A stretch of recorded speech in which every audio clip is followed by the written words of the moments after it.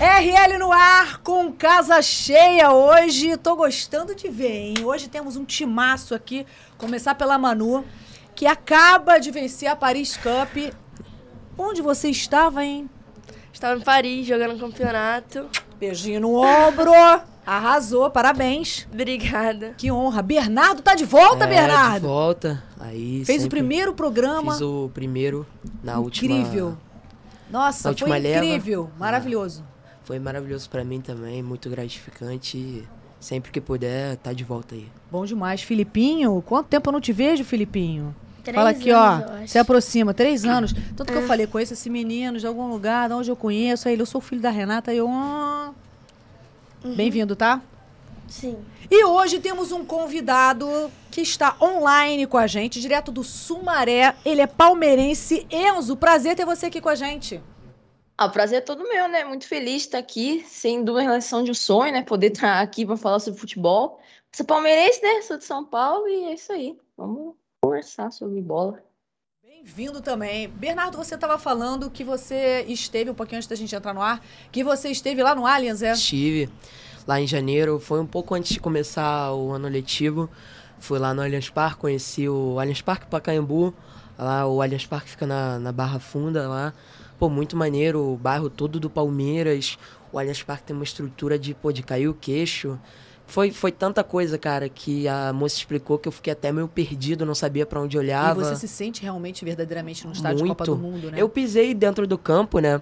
É, fiquei ali no banco de reservas, tive a oportunidade de sentar, tirar uma foto. Tive a oportunidade de tirar foto com a taça da Libertadores. Pô, foi, tirei muita foto. Foi uma viagem incrível e muito especial, porque eu fiz ela com meus primos e com meus tios. Então foi eu, meu pai, meu, Que mais três barato. primos.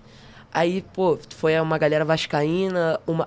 Ó, tinha- evita, evita isso aqui da cadeira, assim, ó. Sim. Senão fica todo mundo em casa assim, ó, igual num bar. Tinha tinha uma, a minha prima, né, que é fluminense, e tinha o meu primo que foi o que incentivou a gente pra lá, que foi o palmeirense, que é o Nicolas, e Que o pai dele, legal. o Carlos. Ô, Manu, vem cá, você chegou a jogar na competição que o PSG fez lá no Allianz? Que eu levei meus filhos pra jogar lá no Allianz, foi muito legal. Que experiência incrível.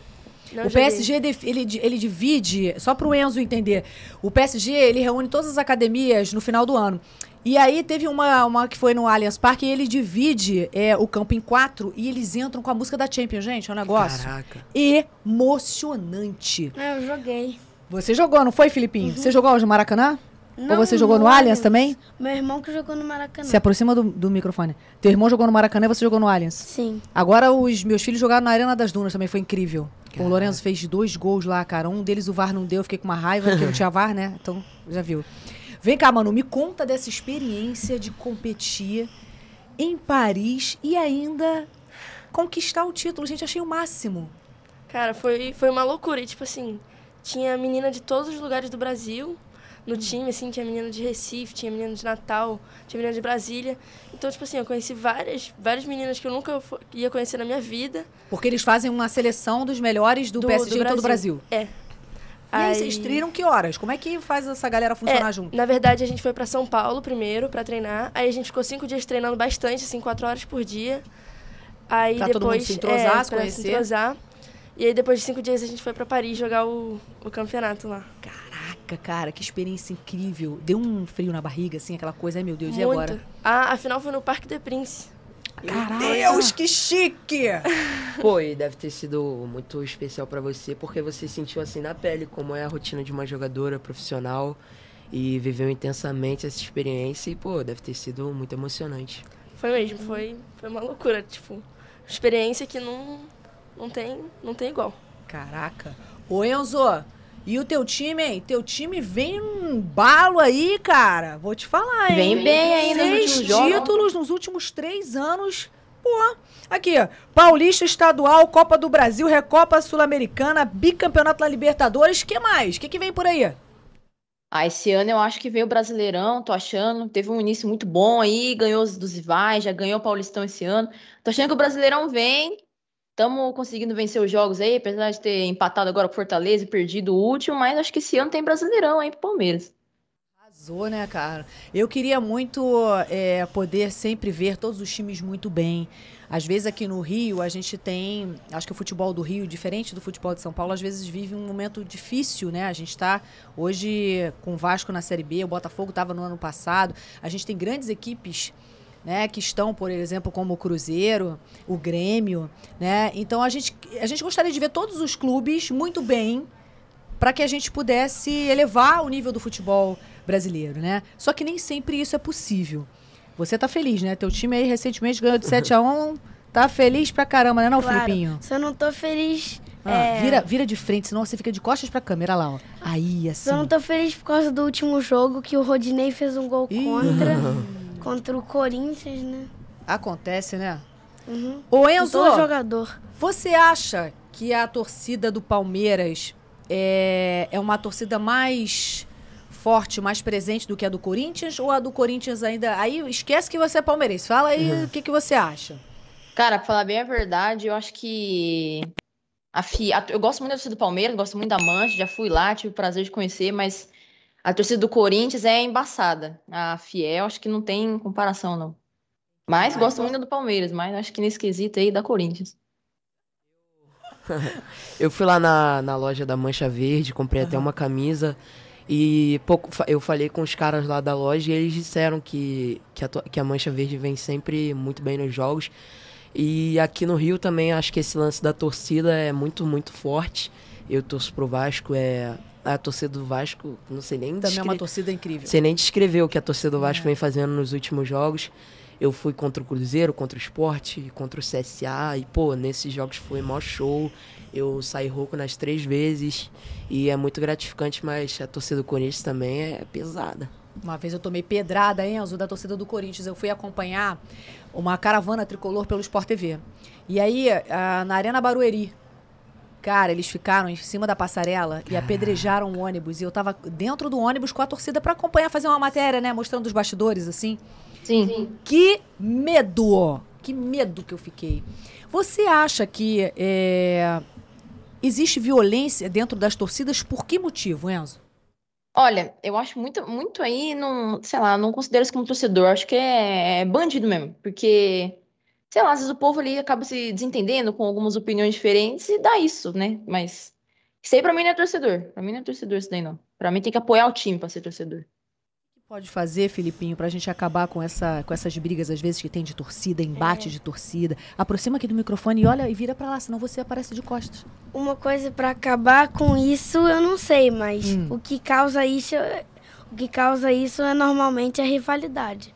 Pois é, mas a rivalidade, mano, não deveria estar dentro de campo?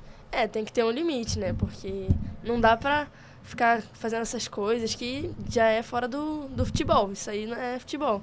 Pra mim, torcer, você tem que amar o seu time. Claro que às vezes você fica bravo, você não, não gosta de uma torcida, mas você não pode passar dos limites assim pra bater ou partir pra agressão. Vocês acham que, por exemplo, respeito. no caso de vocês aqui, quando tem Fla-Flu, lá no caso do, do Enzo, quando, quando enfrenta o Palmeiras enfrenta o Corinthians, que são os clássicos, né? O Vasco também, quando de repente enfrenta o Flamengo. Flamengo. É, esses clássicos, vocês acham que é mais fácil ter uma confusão quando tem um clássico? É, mano? Sim. É. Filipinho? Muito mais. Eu acho que vai muito além do de, de dentro do, do estádio. Por exemplo, aqui no Rio, São Paulo também tem muitas vias de metrô, aqui no Rio também tem muito trem. E, pô, por exemplo, se a torcida do Vasco encontra com a- acaba encontrando com a torcida do Flamengo no metrô, é confusão certa. E acho que também vem muito do policiamento. É, acho que o policiamento tem que ser intensificado. Mas. E quando a torcida, quando ela, por exemplo, a torcida joga objetos no campo, e aí é, quem é prejudicado é o clube, né, Sim. Enzo? Muitas vezes você tem é, a questão do, de, de jogos que eu acho horrível, quando o jogo não tem torcida, quando é portões fechados. Acaba que no final das contas, tudo isso que a gente vê é demonstrações de racismo, a- é, todas as confusões que às vezes acontecem no estádio, gente que taca objeto no estádio. No final das contas, quem perde é o torcedor, Enzo.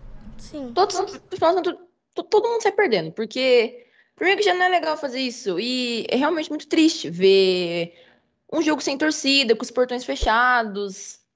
Mas felizmente isso vem deixando de acontecer um pouco mais recentemente. Mas ainda tem bastante casos disso e não é muito bacana. Quem é o cara do teu time hoje, que tá super bem no Palmeiras? Cara, isso divide muitas opiniões, eu acho, porque eu diria que o time do Palmeiras, no geral, é muito constante. Mas eu acho que eu iria de Gustavo Gomes, que vem jogando muito bem, e com o Scarpa. Eu até poderia falar o Veiga, mas ele se machucou agora, então não vou levar isso muito em conta. Mas eu iria de Gustavo Gomes e Pedindo Scarpa. ele na seleção, sabia? Todo mundo tava querendo ver Sim, ele na eu sei, eu seleção. concordo. Pra mim tem que ir pra seleção também. Concordo. Pra mim é o melhor jogador do Palmeiras. Tite vai, vai falar, opa, deixa eu pegar ele aqui e levar pra seleção. Vai Eu ganhar o sim, Hexa com a gente. Ah, não, pra ir pra Copa, acho que ele não vai pra Copa, não. Acho que ele não tem. Pra ir pra Copa é muito difícil. Mas eu acho que o o Tite deveria testar ele lá. Porque nunca sabe, né? Mas acho que pra Copa é muito difícil pro Veiga. Amistoso, né? Porque o amistoso é o primeiro caminho ali, o primeiro passo pra você testar o jogador, né, Manu? Sim, claro. Tem que, tem que botar pra jogar, tem que rodar pra ver quem dá certo, quem não dá. Porque... Por que, que você acha que você foi convocada para essa competição em Paris? Por quê? O que, que você tem de especial? Ou o que, que você fez? Ou o que, que você buscou para você ser convocada? Porque às vezes a gente fica assim, por que, que não convocou fulano, Beltrano? Como você se sentiu como convocada para jogar Paris Cup? Ah, eu fiquei muito feliz, né? Eu acho que isso é muito treino, muito treino, porque eu acho que você pode ter muito talento, mas se você não treinar, não, não adianta, você tem que treinar e aí os resultados vão vir. Eu, eu treinei bastante lá no PSG e aí eu acho que E era um time feminino ou era um time misto? feminino, feminino, foi campeonato Que feminino. máximo, né? O PSG tem um time muito forte feminino. Tem, tem um time bem forte. A gente tá, tá melhorando bastante agora.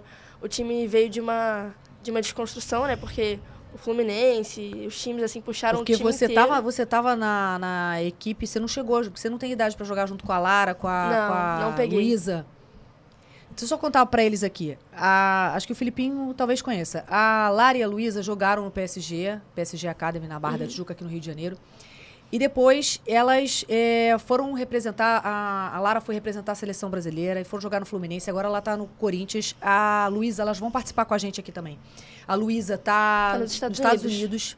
Então, assim, olha só onde o futebol pode nos levar. É um caminho, assim, maravilhoso. Seja para quem joga, ou para quem comenta, ou para quem vai trabalhar nas coberturas, como é o caso do Bernardo, que você quer ser jornalista, Uhum. né, B? Sim. É um, é um mundo que se abre de possibilidades que é incrível.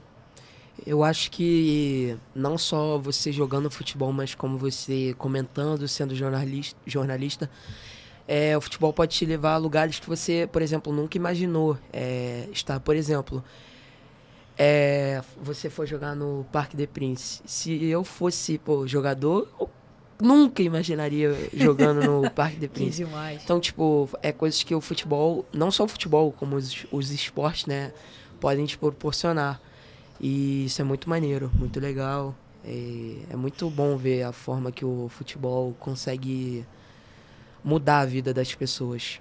Qual foi a competição, Filipinho, que você participou, que você falou, cara, que incrível poder participar dessa competição. Mas vira aqui, ó, vira, fica, Ah. senta de frente pra poder a galera te ver, senão você fica de costas. Que, A- que competição que você participou, que você A falou? Paris Cup lá no Allianz Parque, que foi... Emocionante, né? É, porque era vários, várias pessoas de vários estados do Brasil. É, São todas, é a reunião de todas as escolinhas do PSG no final do ano, é muito legal. é, é muito legal. E eu queria participar de novo, mas... Agora vai ser em Salvador esse ano, vai ser lá em Salvador? Salvador. Você vai pra Salvador? Não. É porque aqui no Rio, o nosso time, ano passado até ganhou.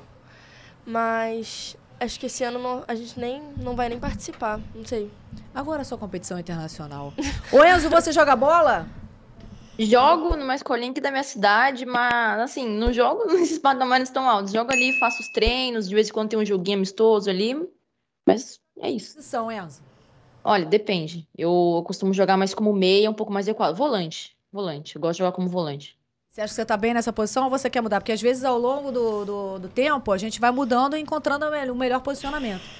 Cara, já mudei. Costumava jogar muito como centroavante. Inclusive, gosto ainda. Às vezes jogo como centroavante, que eu gosto de fazer gol. Mas eu tô sentindo que eu tô melhorando um pouco mais como volante. Então, tô jogando mais como volante. Vanessa, Incrível. posso fazer uma pergunta pro Enzo? Claro. É... Enzo, eu queria saber, eu como sou aqui do Rio de Janeiro, como vocês aí de São Paulo, que eu acho que é a, a elite do futebol brasileiro são os times de São Paulo, como vocês aí de São Paulo veem esses últimos anos conturbados que o futebol não só carioca, como o futebol do Sul também vem vivendo, o Grêmio caiu, o Inter caiu nesses últimos anos, Vasco e Botafogo caíram.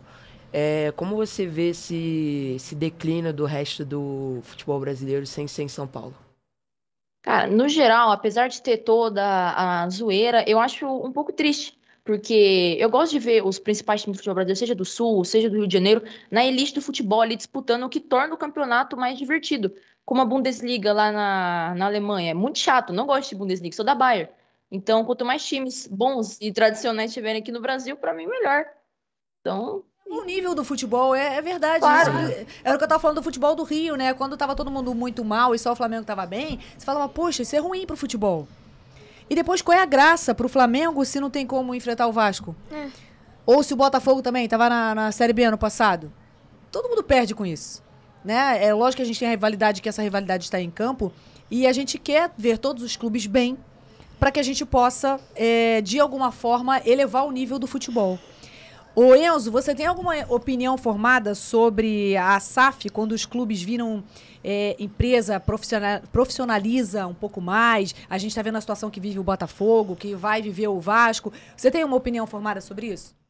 Cara, tenho e ela é um pouco polêmica na visão geral aí das pessoas. Eu não gosto muito quando empresas costumam comprar os times como o PSG, como Red Bull, porque eu tenho muito medo no futuro o futebol virar tipo Facebook Corinthians contra Banco do Brasil Palmeiras. Pra mim isso não é muito saudável, então eu prefiro que seja do jeito que tá, os times pelos times. Não gosto muito que as empresas comprem os times, tornem milionários em poucos anos. Não, não gosto muito. Não sou muito chegada. Eu acho que isso que você falou até é certo, né? Claro. Mas tem muitas pessoas que, que também, como você, é, são totalmente contra esse processo de SAF. Mas eu sou, outra, sou totalmente ao contrário, sou totalmente a favor, porque chega uma hora é, no futebol que esses times eles precisam desse dinheiro para não acabar. Ano passado o Vasco viveu um dos seus maiores terrores, que foi. é, você lembra disso, Vanessa? Que você viveu isso lá de dentro, que disseram que o Vasco ia acabar, que ia fechar as portas.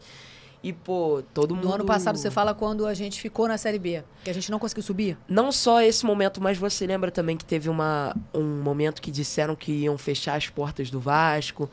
Então, isso pra mim foi, cara, foi, acho que foi uma das Como semanas se o que time eu fosse mais- acabar É, ali, como se fosse fosse acabar, iam penhorar as coisas.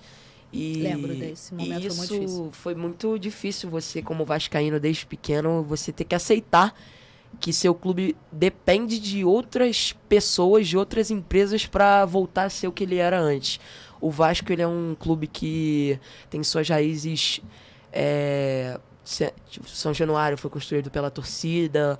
O Vasco sempre abraçou essas causas e As causas populares. é, essas causas populares e ver o Vasco dependendo dependendo de outras pessoas pra ser o Vasco, pra ser o que o Vasco é, é muito triste, mas chega uma hora que que é isso ou não é nada, entendeu? Você Por esse entende? lado, eu concordo. Eu acho bacana, assim, quando, é, por exemplo, a SAF do Vasco, acho até legal. Mas quando vem esses shakes multimilionários, tipo o que aconteceu com o Newcastle aí, não gosto. Mas quando é a situação tipo do John Textor aí com o Botafogo, que não é nenhum muito absurdo, e qual foi com o Vasco, eu acho bacana, porque dá, faz os times voltarem à elite. Então eu acho isso bacana, assim. Por esse lado, eu concordo.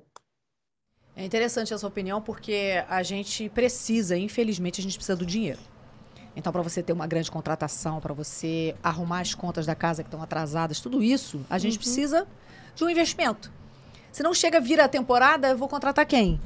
O teu time, Filipinho, vai lá e contrata quem quiser porque tem dinheiro. Não é verdade? Sim. Quando vira o ano, você fala assim, vamos ver quem agora vem jogar no Mengão, não é assim que você fala? Você fica pensando? É. Porque o Flamengo. Aproxima daqui, assim. O Flamengo é um dos times que tem mais dinheiro do Brasil. Você acha, o, Enzo, que eh, existe uma disparidade muito grande, como o Bernardo falou, dos clubes de São Paulo, do futebol em São Paulo, do profissionalismo em relação ao Rio de Janeiro? Cara, eu acho que tem sim um pouco. Eu acho que o São Paulo tá, tá um pouquinho mais na frente. Mas nos últimos anos a gente pode ver o Flamengo, que tá chegando aí, chegando muito bem, foi campeão de Libertadores, bicampeão brasileiro. O Fluminense, que vem chegando bem também, caiu nas semifinais da Libertadores do ano passado. Não, acho que foi nas quartas, acho que cometi um erro aqui. Nas quartas de finais. Fluminense também tá muito bem nesse Brasileirão. Então, acho que sim, tem uma disparidade, mas que o time do Rio vem melhorando.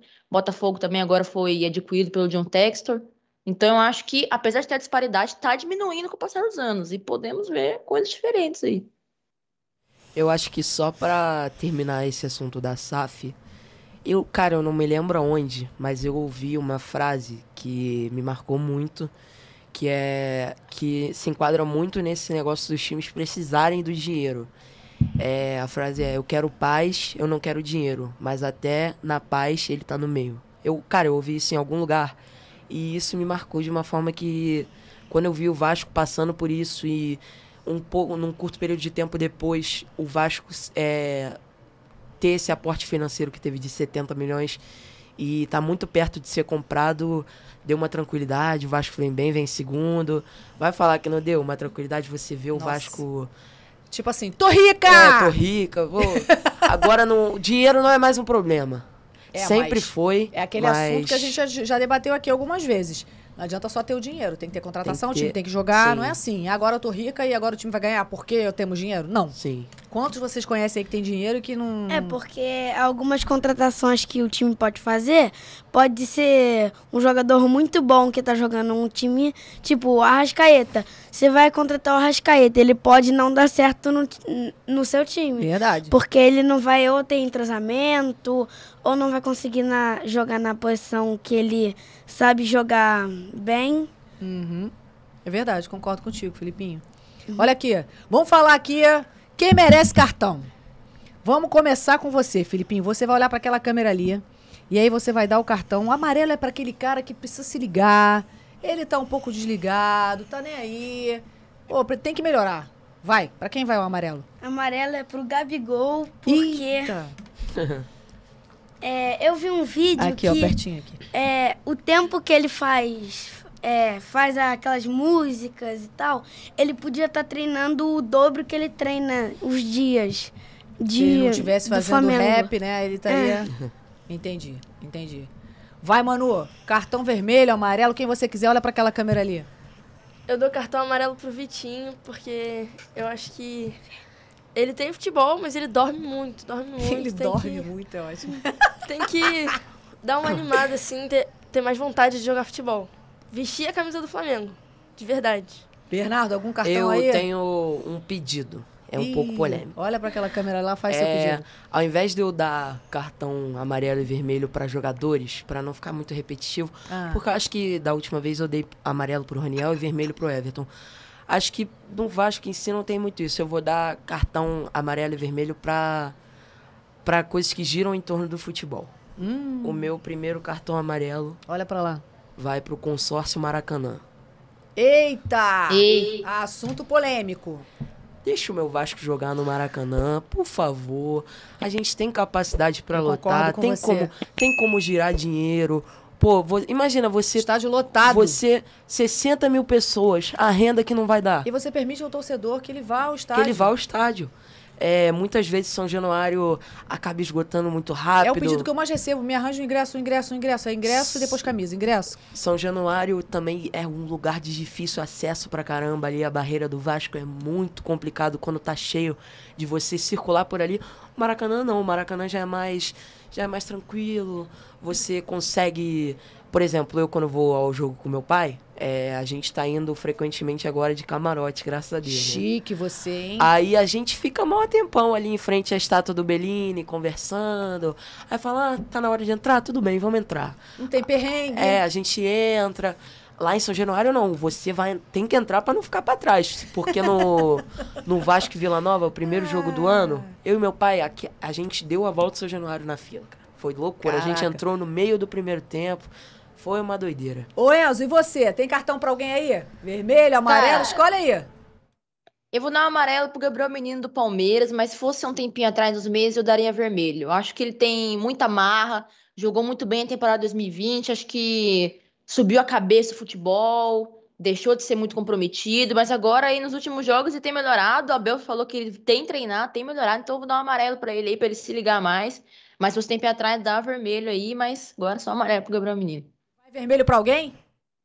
Cara, pra alguém, acho que atualmente tá uma fase muito boa. O Palmeiras é muito difícil dar vermelho pra alguém. Então, e também não. Isso aí. Amarelo. Posso dar Pode. meu vermelho? Vai, Filipinho. Quem é, É vermelho pro Harry Maguire do United. Ele tá recebendo O cara um monte até de confundiu cartão ele com o Toby Maguire no Ah, eu vi. Henrique. Eu vi. O Henrico. Ah, É, eu sou amigo do Henrico, eu conheço eu ele. sei, Foi você jogou com o Henrico, né? Olha aqui, e falando um pouquinho de futebol feminino. é, você acha que faz diferença quando você tem a Marta com seis bolas de ouro? Ela é uma voz no futebol feminino. Como é que você vê hoje o momento que vive o futebol feminino? E aí eu tô falando de tudo, tô falando de preconceito, de, de diferença salarial, de tudo. Sim, é, faz muita diferença, com certeza faz muita diferença. E eu vejo que o futebol feminino está evoluindo. Devagar, mas está evoluindo. Que que Tem muito falta? para evoluir ainda, falta muita coisa. Principalmente aqui no Brasil, se você for ver. Todas as meninas que querem alguma coisa a mais, querem realmente conseguir viver disso, muitas não conseguem ficar aqui no Brasil. Porque ainda você vê muita gente jogando, por exemplo, no Flamengo e ao mesmo tempo tem um trabalho por fora para conseguir Mas talvez é, não, era, não era a melhor situação, mas é, quando você tem a obrigatoriedade dos grandes clubes de terem um time feminino, aquilo e, e- também o crescimento dos campeonatos, você tinha mais possibilidades das meninas jogarem. Porque antes a treinadora da seleção, ela era a Emily na época, a Emily só podia convocar gente que estava jogando fora, porque aqui no Brasil não Sim. tinha campeonato, né? Uhum. Você acha que isso tá melhorando devagar? Tá, tá melhorando bastante. Vários clubes agora estão começando a investir de verdade. O Corinthians está com um time muito bom, o Flamengo está começando a investir agora também. O Fluminense também tem uma boa, uma boa base. Tá, tá começando a andar. Aos poucos tá melhorando. Bom demais isso. Tem alguma opinião sobre isso, Enzo? Olha, eu acho muito legal o futebol feminino. Eu, tenho, eu e meu amigo, a gente costuma acompanhar razoavelmente, assim, bastante. Ele é corintiano, o Corinthians é um bom time aí, futebol feminino. Inclusive, o Corinthians fez uma coisa muito legal, não lembro se foi ingresso a um real, se foi de graça aí na- no ano passado. Lot- quase lotou no Química Arena, acho que, se não me engano, botou 30 mil torcedores para assistir fu- futebol feminino. Foi o recorde aqui do Brasil. Achei muito bacana a iniciativa. Eu acho que o futebol feminino vem sim crescendo. E eu acho muito bacana acompanhar essa área diferente. Incrível. O, é, sobre o futebol feminino, o Vasco, eu só falo de Vasco, né? Eu sei, é, o Vasco gira em torno da minha vida de uma forma inexplicável. O Vasco ultimamente recebeu um, eu não sei se eu não, não não li muito sobre, mas o Vasco ele fechou uma parceria com, a, com uma pessoa que eu sou muito fã, Carol. que é a Carol Pfeiffer. Inclusive, Carol Pfeiffer, te amo. cara. É, Sou muito beijo, fã. Carol. Sou muito fã dela. Ela é lá do Shark Tank, né? Isso. Cara, eu gosto muito dela, acompanho ela. E ela é palmeirense, ela é torcedora do Palmeiras. Ela ficou assustada quando ela chegou aqui no Rio. Ela falou assim, Vanessa, o que, que é isso? A torcida tava me esperando no aeroporto. Nunca vi isso. Eu falei, é a torcida do Vasco, muito foi, prazer, bem-vinda. Foi uma loucura. e, pô, fiquei muito feliz de ver que ela acreditou no futebol feminino do Legal, Vasco, né? investiu. Ficou, o patrocínio ficou até maneiro, né, na camisa.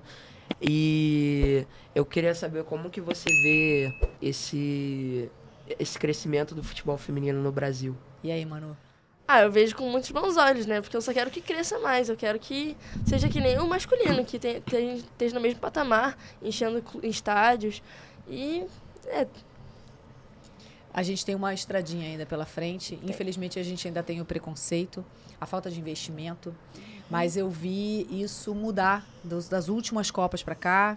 É, Em 2018, eu tive a oportunidade de levar ao ar pela primeira vez na história da televisão, nos canais Fox Sports, o Narra Quem Sabe. Então, eu treinei as mulheres que hoje estão narrando é, nos principais canais. Então, isso foi uma grande conquista. E é, eu acho que é o tempo. A Marta fala isso. Eu tenho seis bolas de ouro e ainda tenho que provar que eu sou capaz de ter essas bolas de ouro. Então, é muito. Acho que a gente tem uma estrada ainda pela frente. Mas eu acredito, Manu, que as- essas gerações, o Filipinho, o Luca, o Lorenzo, chegam para treinar. Tem times femininos treinando. Então, acho que eles já nasceram numa geração abençoada em que vê o futebol feminino de uma outra forma, diferente da minha geração. As mulheres não tinham nem chuteira, não tinha nem uniforme, usavam o uniforme dos homens, não tinha incentivo. Hoje, eu acho, eu tenho fé que isso está mudando e vai melhorar. é, até se você for ver a história das mulheres que jogam na seleção feminina hoje em dia, são histórias bizarras, assim, que jogam com cabeça de boneca. sobreviventes, sobreviventes. Realmente, então Você não hoje sabe em como é que elas chegaram até ali. se você é uma menina e você quer jogar futebol hoje em dia, é muito mais fácil do que há um tempo atrás. E há muito pouco tempo atrás até. Então, tá melhorando bastante. Vai melhorar. Enzo, adorei conversar com todos vocês. Faça suas considerações finais e você está convidado para as próximas resenhas. Obrigado, muito, muito feliz, né? Estar participando aqui, gostei demais. Olha, Mas- como. Agora, vamos lá.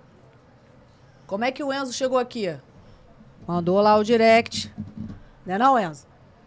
Isso aí. É assim também. comunicou, o Bernardo também, né? E é assim que tem que fazer, tá bom? Obrigada e boa sorte pro seu Palmeiras. Obrigada. E boa sorte ao Vasco também, que agora tá, tá indo bem, né? Ah, mas tá indo melhorzinho esse ano, tá indo melhorzinho. Se Esse Deus ano, quiser, Deus tenho quiser, fé. Tamo aí. É, Muito obrigada, viu? Não, obrigado B, a você. volte outras vezes. Manu, que você conquiste muitos títulos. Vem aqui mais vezes. Filipinho, toca aqui. Quanto tempo, parceiro? Fala pra tua mãe que eu nem te reconheci. Fala aqui, eu conheço esse garoto de algum lugar. Uhum. Três anos já sem te ver. É, é três Mas anos. agora você tá jogando melhor do que você jogava antes? Melhor. Sempre foi craque, garoto. Hum. Não mete essa. Agora você convida a galera ali. Vai lá, convida a galera. Vai. Convida a galera pra assistir você aí. Esse episódio ficou incrível. Vai, convida aí. Posso finalizar? Pode, manda ver. É, galera, se inscreve no canal, deixa o like e ativa o sininho para não perder nenhum vídeo do Resenha Loading. Yeah, arrasou! Beijo, até a próxima!